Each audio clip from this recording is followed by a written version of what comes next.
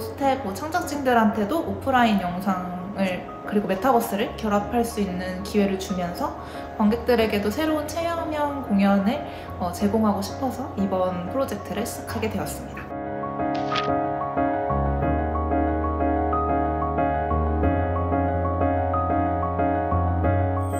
안녕하세요. 이번 할로윈 파티에서 공연 기획을 맡은 아르뜨락의 김영식입니다. 네, 안녕하세요. 저는 작가 고윤진입니다.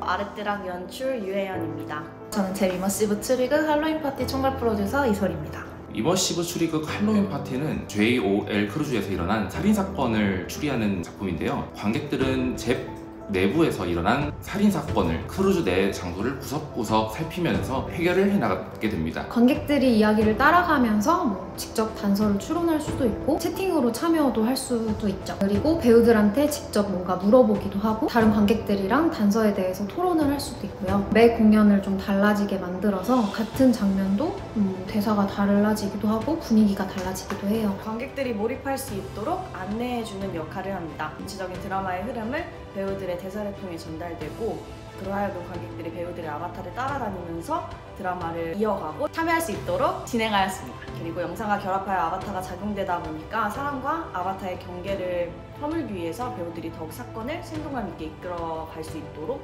도와주는 역할을 했다고 보시면 될 것 같습니다. 살인사건의 피해자는 임원일이라는 인물이에요. 크루즈를 소유하고 있는 그 JOL 그룹의 임원이자 어, 파티의 주최자이고요. 살인사건 피해자로 알려지면서 굉장히 파장이 일어요. 그리고는 사건의 용의자들이 좀 드러나기 시작을 하는데요. 어, 매니저 만화정이랑 수석 셰프 조리태, 선장 선장근 이렇게 세 명이 용의선상에 올라가요. 각자의 공간을 조사해 본 결과 어, 만화정은 임원일의 스토커로 밝혀지고요. 조리태는 임원일과 사이가 좋지 않은 동업자이고 선장근은 임원일의 죽은 전 연인의 아버지로 드러나게 되거든요. 공간을 이동할수록 용의자 사이에서 범인의 실체가 이제 드러나게 되는 이야기입니다. 저희가 실제 영상을 중간에 쓰게 되는데 실제 영상과 메타버스 내 공간이 같은 공간이라는 것이 분명하게 관객들에게 인지가 되어야 한다고 생각을 했습니다. 관객들이 딱 그 장소에 갔을 때 아 여기가 그 영상에서 봤던 거기구나 라고 알 수 있도록 그 싱크로를 맞추는 것이 가장 중요하다고 생각을 해서 그 부분을 제일 신경 썼고요.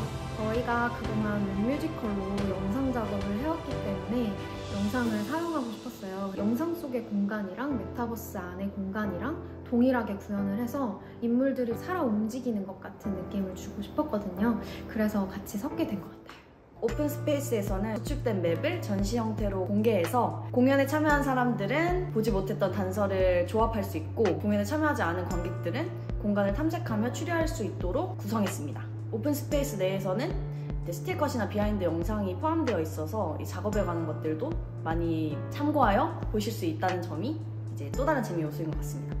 일단 메타버스의 다양한 특징들이 있겠지만 이번 사업에서 가장 중요했던 키워드가 이제 실시간성, 아바타, 어, 상호작용, 경험 가치였어요. 메타버스 플랫폼 잽을 선택하면서 배우들과 관객들이 실제 자신이 아닌 본인의 아바타로 그리고 닉네임을 활용해서 공연에 참여했고요. 이 과정에서 배우들의 음성 그리고 참여자 모두가 채팅을 통해서 소통을 했고요. 더불어 저희가 활용했던 개념은 거울 세계라는 특징이에요. 현실 세계를 반영해서 이제 가상 공간에 동일하게 만들고 그 공간을 더 확장시켜서 JOL 크루즈라는 공간을 제작했습니다. 어떻게 보면 현실에는 존재하지 않지만 현실 세계를 더 확장시켜서 이제 그런 가상 공간을 배우와 관객들이 자신의 아바타로서 참여하고 또 어떤 공간의 제약을 받지 않고 공간에서 함께 연극을 관람했다는 게 가장 중요한 접근 방식이었던 것 같아요. 오프라인 공간에서 온라인 공간이라는 새로운 장소들을 얻었다고 생각을 하거든요. 이 장소를 도구 삼아서 오프라인에서 그동안 제약이 있어서 하지 못했던 작품들을 더 널리 더 쉽게 퍼뜨릴 수 있지 않을까 하는 기대를 가지고 있습니다. 그래서 메타버스를 이용한 더 많은 작가들, 예술가들의 작품이 앞으로 나왔으면 좋겠습니다. 잽이라는 플랫폼과 맵 디자인, 그 영상, 공연에 대한 다양한 부분에서 작품을 생각하고 만들어가야 하다 보니까 어떤 식으로 소통하고 하나로 모을 수 있을지에 대한 고민을 되게 많이 했던 것 같아요.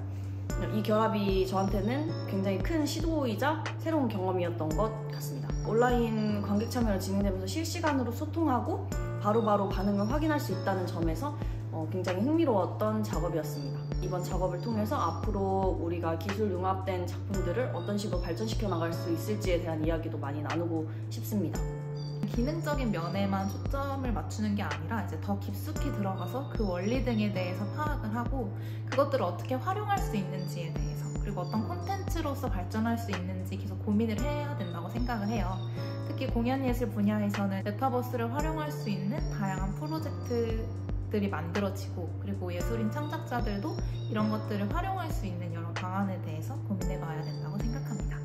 JOL에 더 디테일하게 크루즈를 구현을 해서 지금 추리극이었지만 일반 드라마 부분을 다룰 수도 있을 것 같고 어, 메타버스 플랫폼 자체가 무궁무진하게 확장이 가능하기 때문에 다양한 작품들이 만들어질 수 있을 것 같습니다. 다양한 기술 융합 작품 작업들을 기획해보고 싶고 다양한 형태로 관객들과 소통하며 만나는 작업들을 해나가고 싶습니다. 또한 관객들이 더 흥미롭게 자유롭게 참여할 수 있는 작품을 만들어 보고 싶고 그런 작업을 아랫드락을 통해서 많이 보여드리고 싶습니다. 아랫드락의 가능성을 기대해 주시고 네, 지켜봐 주세요.